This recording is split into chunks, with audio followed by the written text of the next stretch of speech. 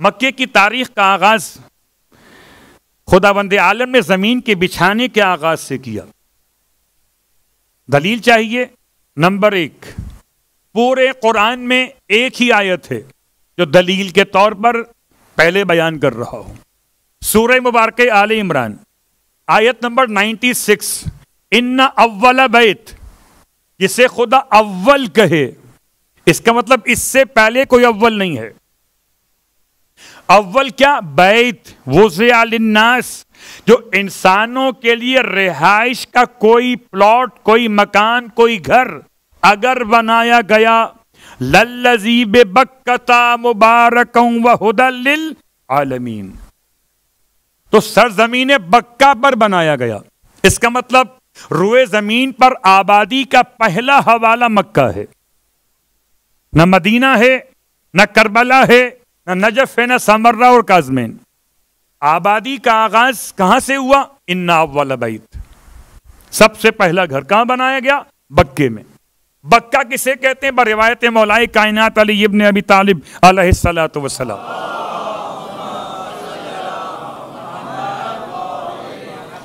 फरमाते हैं, बक्कतो अल बक्कतो मस्जिदुल हराम। मस्जिद हराम को बक्का कहते हैं। और मस्जिद हराम के बाहर जितना हरम है माँ सेवल मस्जिद, वो सब का सब मक्का है। यह रिवायत अलग है।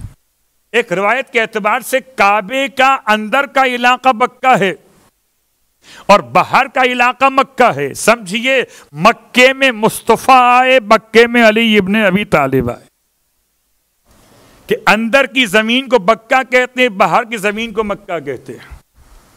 और मक्का और बक्का के माना भी आहिस्ता आहिस्ता आएँगे, मगर तेज़ी के साथ में आगे बढ़ रहा कि परवरदिगार ने सबसे पहले 25 जीकादा को जब ज़मीन के बिछाने का आगाज़ किया तो ना मदीने से किया, न किसी और कूफे और बैतुल मुकद्दस से किया, मक्के की ज़मीन से आगाज़ किया। और मक्के की ज़मीन से आगाज़ करते हुए, कहाँ से आगाज़ किया? कि खुदा ने, मिसाल बड़ी आसान सी। मिसाल, अपने घर में मोमिनात के हवाले से, शायद आपके यहाँ तो रिवाज कम है कि रोटी घर बनाई जाए, मगर हमारे यहाँ भी रिवाज बाकी है। जब रोटी घर में बनती है तो क्या कहना? कि आटे से तैयार करने वाला पेड़ा, यानी कि गोल, गुंदा हुआ आटा, शक्ल पेड़ा में। और उस पेड़े को इस तरह बेला जाता है कि फैल जाए रोटी की तरह से।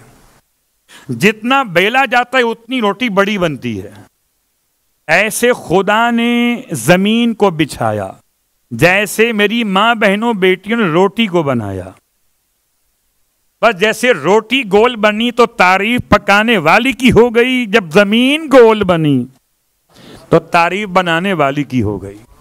लफ्ज गोल का मतलब वो गोल नहीं है जो रोटी का उनवान है। सलवात पढ़े मोहम्मद वाले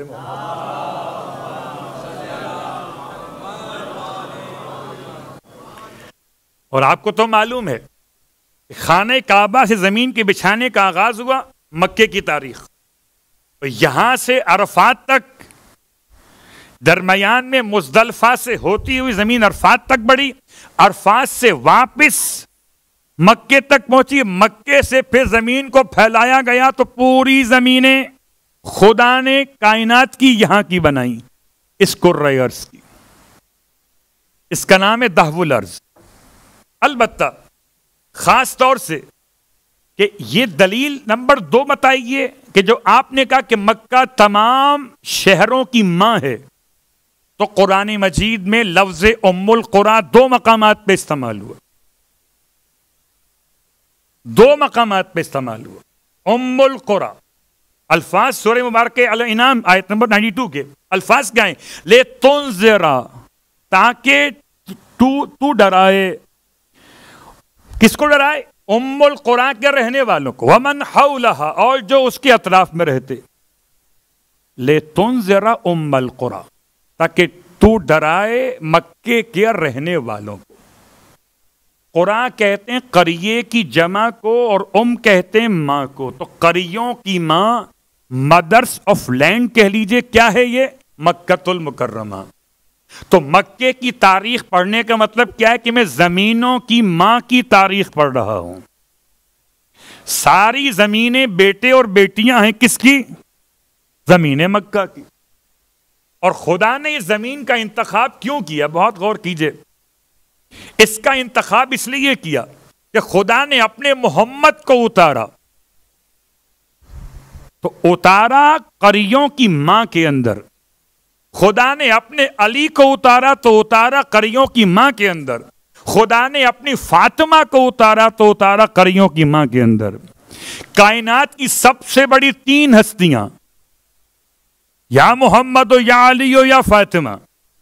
इन तीनों की विलादत बासादत कहाँ पर? मक्कतुल मुकर्रमा, जिस मक्के को आप हल्का समझे, उसे खुदा ने वजनी समझे। असल बात पढ़े मोहम्मद।